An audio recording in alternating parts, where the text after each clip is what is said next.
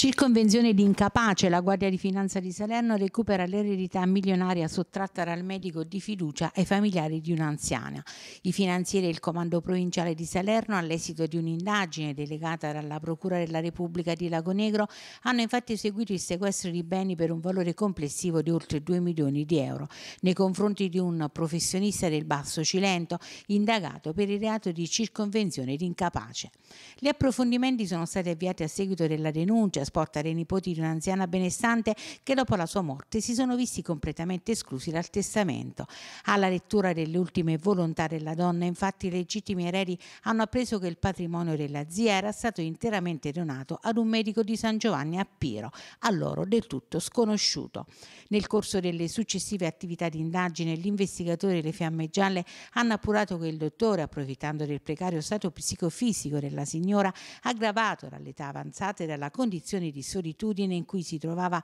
ormai da diversi anni, aveva ricevuto nel tempo cospicue somme di denaro, a dire dell'indagato semplici regalie, e soprattutto l'aveva convinta a farsi nominare unico erede. La donna, non essendo ormai in grado, visti i problemi di salute, di amministrare con lucidità le proprie ricchezze, era stata peraltro sul punto di rilasciare al professionista anche la delega ad operare sui conti correnti. Tale operazione non è andata a buon fine solo grazie all'intervento del notaio notaio incaricato, il quale non si è lasciato ingannare dalle motivazioni addotte dall'uomo per giustificare il suo intervento nella gestione delle finanze della paziente. Gli accertamenti bancari hanno comunque portato alla luce numerosi prelevamenti di contanti anche per decine di migliaia di euro, di cui non è stato possibile stabilire l'effettivo utilizzo quando la signora era ancora in vita. Somme spropositate considerato che la malattia la costringeva praticamente in casa. Sulla scorta degli elementi indiziari raccolti condotti dai finanzieri di Sapri, il giudice per le indagini preliminari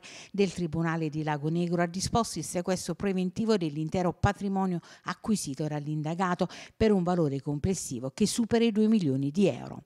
Tra i numerosi beni cautelati spiccano diversi appartamenti situati nella costiera Cilentano, al centro del Golfo di Policastro. Il medico che ha intanto ricevuto l'avviso di conclusione delle indagini dovrà ora difendersi dall'accusa di circonvenzione di persone incapaci, delitto punito con la reclusione da due a sei anni e la multa fino a 2.000 euro.